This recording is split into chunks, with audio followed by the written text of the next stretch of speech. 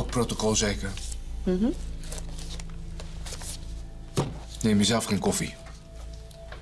Ik heb zo'n belafspraak met een expert op het gebied van geldezelen. Mooi, want dan zal hij jou vertellen dat ik er niks mee te maken heb.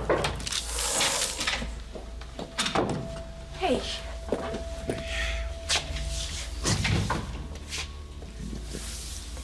Wat is dit allemaal?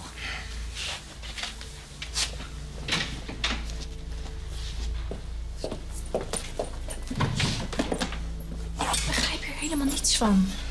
Ik heb maar tegen Manu gezegd dat je onverwachts moest werken. En de hele zaak moest nog versierd worden voor dat feest. En niemand wist wat er afgesproken was. Dus ik heb maar een beetje geïmproviseerd.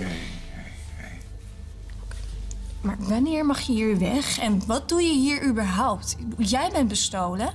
Mijn rekening is gebruikt voor criminele doeleinden. Door wie?